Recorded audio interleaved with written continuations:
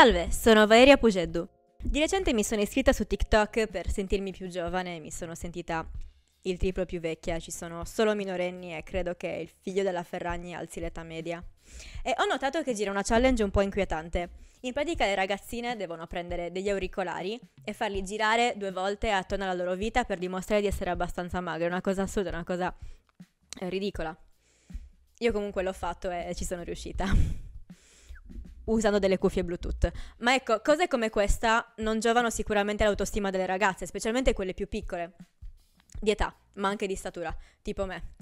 Ad esempio, quando una persona famosa, più che altro una donna, magari è meno magra rispetto a prima, l'internet ci tiene a diffondere delle foto mortificanti di questa persona e questo avviene per due motivi. Uno, il fotografo è un cane e ti prende tipo quando sei così, non lo so, come un cerbiato che sta per essere investito, oppure la maggior parte delle volte è una semplice questione di prospettiva, cioè dal basso tutto sembra più grande, quelli che si fanno le foto al cazzo questo concetto qua l'hanno capito al volo.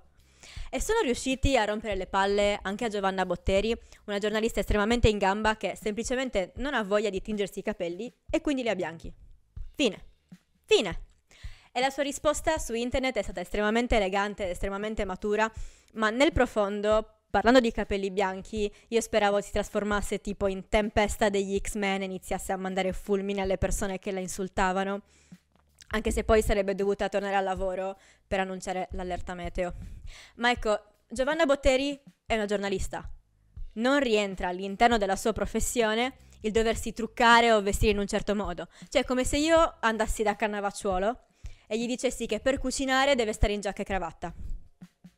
C'è da dire che se Cannavacciuolo avesse ricevuto gli stessi insulti che ha ricevuto Giovanna Botteri, probabilmente gli ortopedici italiani sarebbero milionari.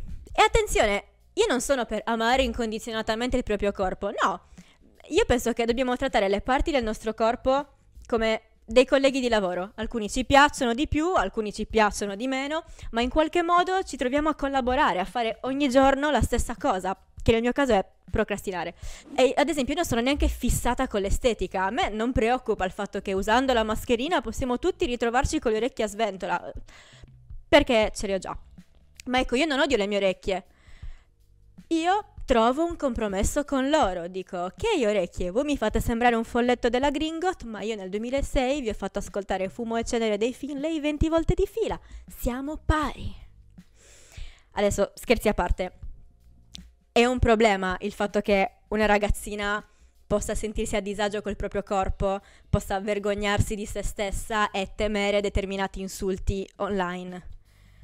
E secondo me il problema è proprio il web.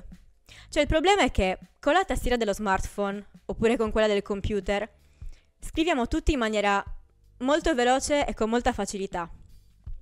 Ed ecco, secondo me, se gli hater si trovassero tipo a dover scrivere certi commenti di proprio pugno con penne e calamaglio, ritrovandosi a dipingere la miniatura della prima lettera a mo' di monaci amanuensi, cioè secondo me già alla prima G di Grassona perderebbero la voglia.